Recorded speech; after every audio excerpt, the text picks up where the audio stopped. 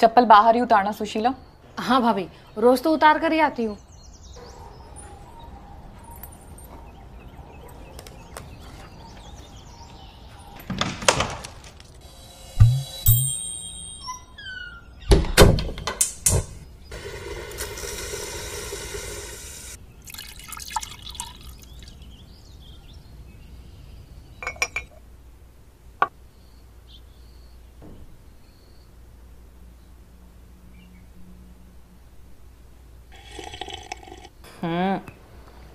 इसमें भी चीनी डाल दी तूने। सुबह सुबह मूड खराब। ओहो भाभी मैं दूसरा बना दूँ? नहीं रहने दे।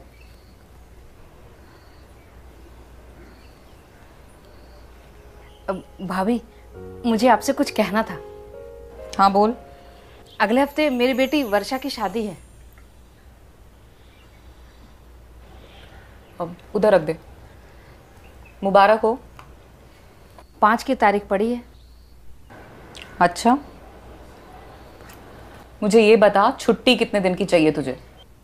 नहीं भाभी मुझे तो बस चार दिन की छुट्टी चाहिए। उसमें सारी रस्में निपट जाएँगी और बाकी का काम वर्षा के पापा देख लेंगे।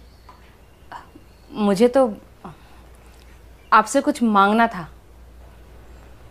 क्या मांगना? मुझे पचासी सौ अस्सी रुपये चाहिए। मैं आपको दे दूँगी। मतलब नौ हज़ार रुपए। कुछ भी बोल रही है क्या? इतनी तो तेरी तीन महीने की तनख्वाह नहीं है। इतने पैसे एक साथ कैसे दे दूँ मैं तुझे?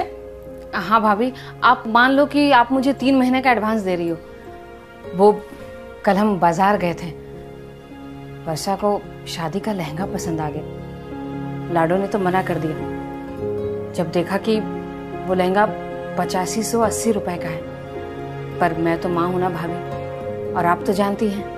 कि एक माँ के लिए उसके बच्चे की खुशी से बढ़कर कुछ भी नहीं होता। सुशीला, तेरी लड़की इतनी समझदार है, पर तुझे अकल कब आएगी?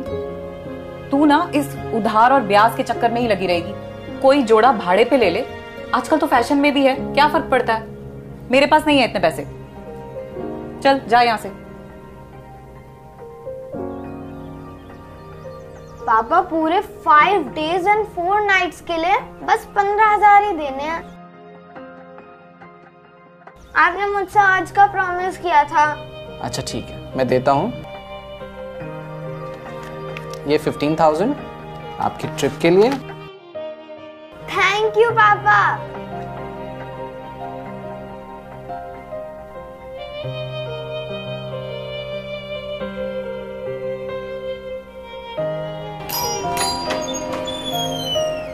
आ गई।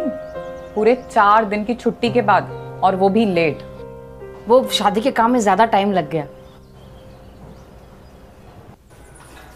अरे हाँ परसों थी ना शादी। मैं तो भूल ही गई थी। ये सरप्राइज़ ट्रिप पे ले गए थे मुझे चार दिन के लिए। अच्छा सारे कपड़े भी ऐसे ही पड़े हुए हैं। तू पहले बाहर से वही उठा ले।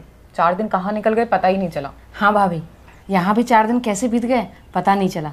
सब कुछ हँसी खुशी में निपट गया। देखा? मैंने कहा था ना भाड़े के कपड़े सही रहते हैं। नहीं भाभी भाड़े का नहीं। वर्षा को जो लहंगा चाहिए था हमने वो दिलवाया। पर इतने पैसे कहाँ से आए? मैंने तुझे पहले ही कहा था। ये ब्याज व्याज के चक्कर में मत पड़ना। नहीं ब्याज नहीं। कुछ बड़े लोगों ने मेरी मदद की। अच्छा भाभी मैं कपड़े उठा के लाती हूँ।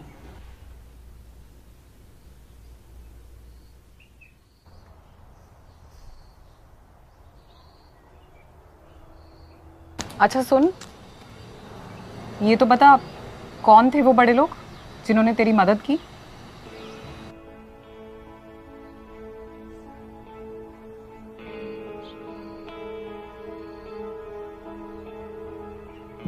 यही है वो लोग।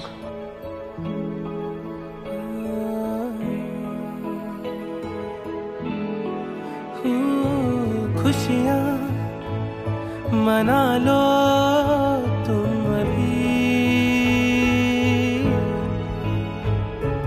रिश्ते सजा लो तुम सभी।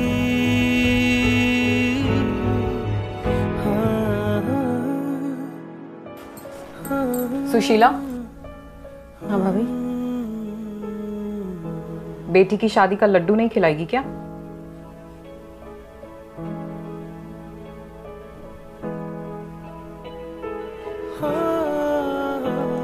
हाँ भाभी।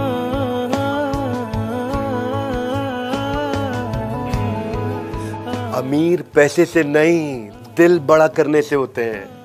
कर दे हल्का बोझ किसी का। इंसानियत नाम की भी कोई चीज़ होती है। चख कर देख मदद का लड्डू, इससे डायबिटीज़ नहीं होती है।